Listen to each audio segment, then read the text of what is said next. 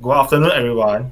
We are from Group 7. So today, we want to present about our report title, which is Smart Parking System. So I will explain about the introduction and the problem statement.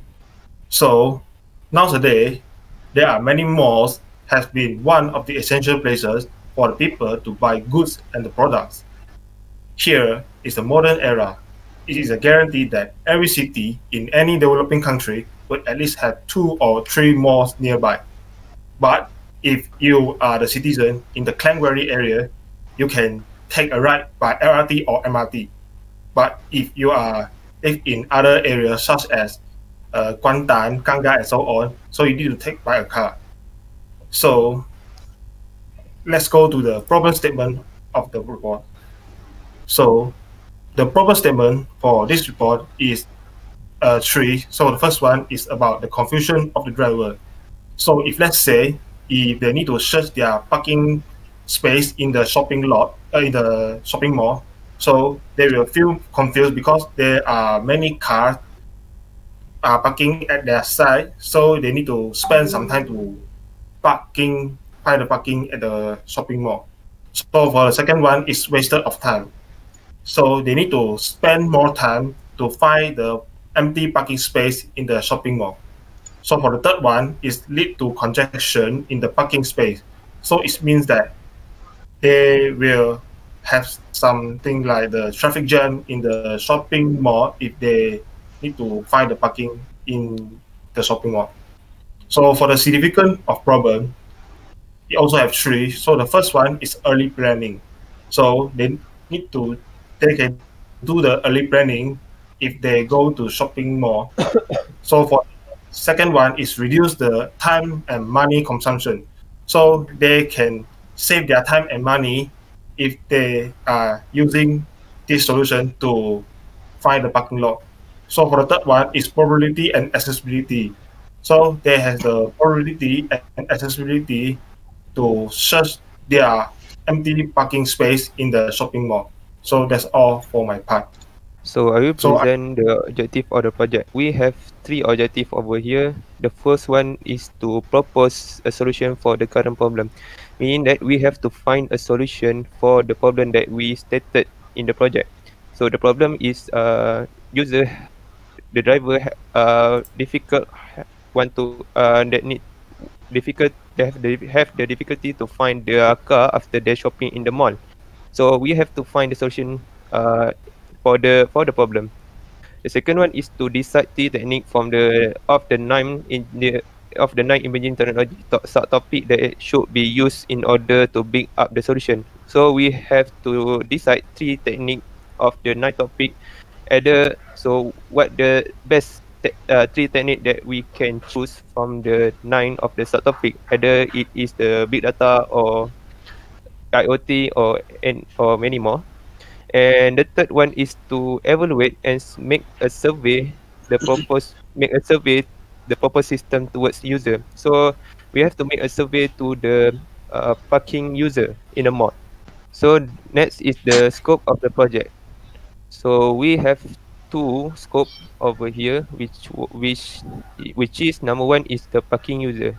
This is the most important role in this project because there there is there will uh, there is the problem. There is because he, uh, there are the problem. All right because uh, we because they want to find their car but it takes time and they do not know where the car are, where they park their car after uh, they go shopping. So uh, next is the parking management. So we include the parking management because it is important for the future project. Alright, so the parking management is uh, contribute uh, in in term of the project, of the survey to the user and many more. So we need to include the parking management uh, people, the worker in the parking manage in the uh, management department. So that's all for me. Thank you. Okay, so my name is Jason. I'll be continuing with the focus problem and also the related works. So in this project, there are three key problems that we have to focus on. And since our solution is to propose an app for this for this project, there needs to be some things that need to be solved before we can properly implement the app. So first of all, we need to have a way of gaining meaningful insight from the parking users' behavior. Parking users, they behave in certain ways, which if extracted properly, the information can be used in the app. So for example, how many times a driver might turn around the same floor to look for parking, or uh, which locations that they prefer to park at, stuff like that. And then for the next point is how can digitalization of the parking space improve overall experience? What is meant by digitalization is the use of sensors in parking spaces where they are either on the ceiling or in the ground in the parking space. So with those sensors, there can be some information that can be obtained, such as whether or not there's a car there or how many cars are there in the whole mall and how many more empty spaces are there. So the next one is how to protect user data. This is very important because in order to make an app where there are personal data from many, many users, there needs to be a way to secure the data. So then it uh, needs to be implemented properly, otherwise the users will not have faith in the system. So next slide. This is a related work. Uh, actually, it's in KLIA. This system is used to find the user's vehicle. The reason why they need this system is because that there's over 5,000 parking spaces in KLIA. And imagine if you traveled somewhere for a trip, and then after after having fun, after your vacation, you're gonna have some trouble finding your your vehicle. So this system will allow the user to search their vehicle by their plate number. Uh, that's it for my part. Okay, Assalamualaikum. Thank you, Jason, for your present. Uh, so my name is Ahmad Farhan Iqbal. So I will present about the solution proposed and the cost estimation. So the first solution proposed is we take it from the uh, nine uh, subtopic of emerging technology. So we pick three. So our first pick is the big data. So our solution proposed for big data is used to collect the information of car plate number, parking space available and other data that can help visitors to find the parking space. This system will find the plate number in data table that has been structured with the number of parking lot. So actually big data which will uh, collect all the data and will help the parking management to select the data using the their table So next is the IoT is Internet of Things. So in this solution, we propose about the this can apply to the smart parking system as a sensor to detect the available parking space and detect the plate number. The sensor also will be installed in a certain area at the parking space and usually will be located at the top of the parking space, which means the sensor will be green if uh, have uh, do not have the car in that spot and will be red if the has car in the spot as you can see uh, in the picture. So the third solution proposed is the cyber security. So in this solution, we propose about the important uh, cyber security is important because we can handle big data that contain the the personal visitor data such as plate number and phone number And next is the, uh, the implementation of cybersecurity is must to ensure data is secure and still feel safe to give their information into the application. So actually this is one of the important because uh, as uh, my friend say uh, before, the user personal privacy is must be protected. So this is actually very important because the we have the phone number here, we have the plate number. So the parking management must protect this uh, as the assigner cannot take this information so which ensure the, the safe of the data so i think the cybersecurity is very important main important in this uh, system. So next is the cost estimation. So our cost estimation is about 100,000 ringgit in our project which very a lot.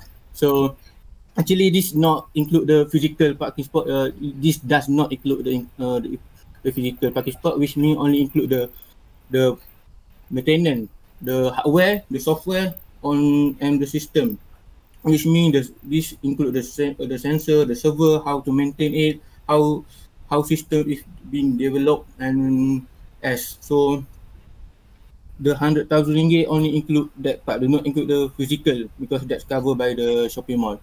Or and that's it for me, and I give it to the Afnan. Alright, thank you Pak Assalamualaikum. My name is Muhammad Afnan Hafiz and I'm going to present my part which is impact.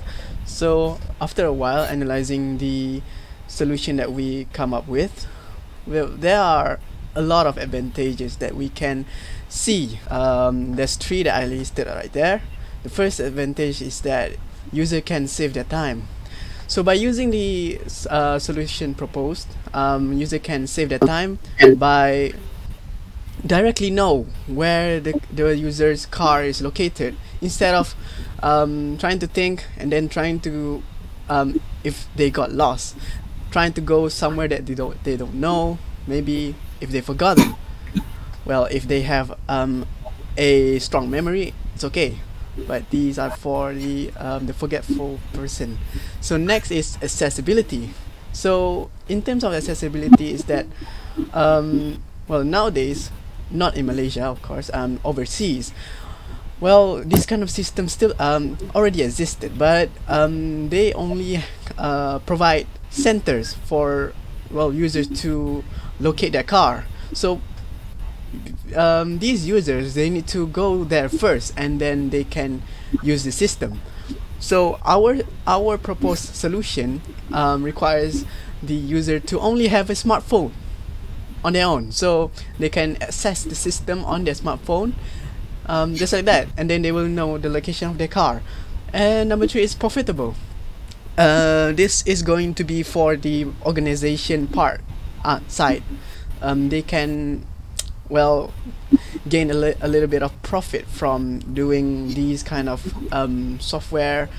Maybe there's a premium feature where users can well get extra extra perks Alright, next.